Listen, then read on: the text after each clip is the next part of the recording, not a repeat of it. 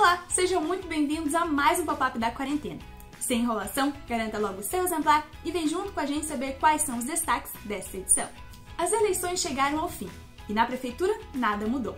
E Cerro foi reeleito no município com 69,49% dos votos válidos, o que corresponde a quase 50 mil eleitores, fazendo história na cidade.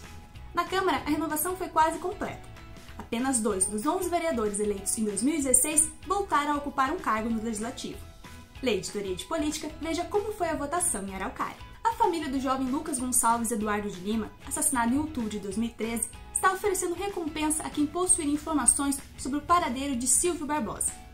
O réu está foragido, com mandado de prisão expedido pela juíza de Araucária. O réu foi condenado a 14 anos de prisão pelo crime, mas após 7 anos ainda não cumpriu pena.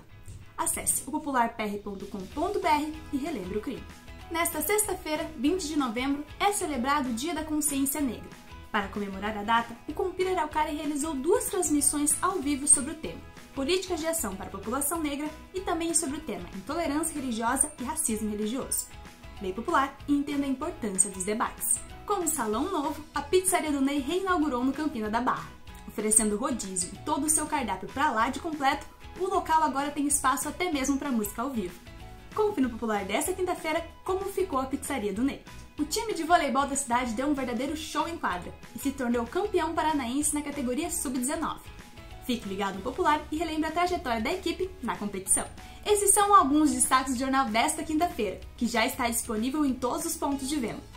Não esqueça de curtir e compartilhar esse vídeo, nos seguir em nossas redes sociais e acompanhar o nosso site. Os links ficarão na descrição do vídeo ajude no combate ao coronavírus ficando em casa, lavando bem as mãos, usando máscara se precisar sair e respeitando de verdade o isolamento social. Jornal O Popular, especialista em araucária. Até a próxima!